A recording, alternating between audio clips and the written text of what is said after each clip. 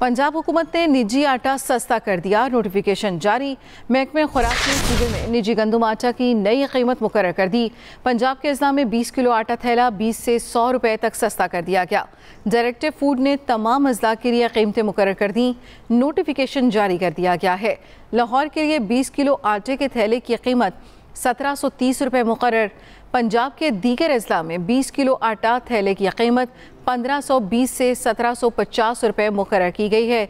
मजीद तफसील जानेंगे अपने नुमाइंदे रिजवान आसिफ से। बताइएगा रिजवान जी गुजशत रोज महकमा खुराक पंजाब ने वजी अला पंजाब मरियम नवाज़ की हदायत के ऊपर पंजाब में आटे की कीमतों का नया नोटिफिकेशन जारी किया है, जिसमें के आटे की नई कीमतें जो है, वो 20 किलो का थैला जो है, वो 20 रुपए से लेकर 100 रुपए तक सस्ता कर दिया गया ये एक बहुत बड़ी कमी है, जो कि पंजाब के बहुत से जिला में सामने आई है। इस हवाले से महकमा खुराक जारी करता नोटिफिकेशन के मुताबिक लाहौर में जो है, वो बीस किलो आटा थैले की कीमत सतारह सौ तीस रुपए, जबकि रावलपिंडी में सतारह सौ पचास रुपए मुकर की गई है।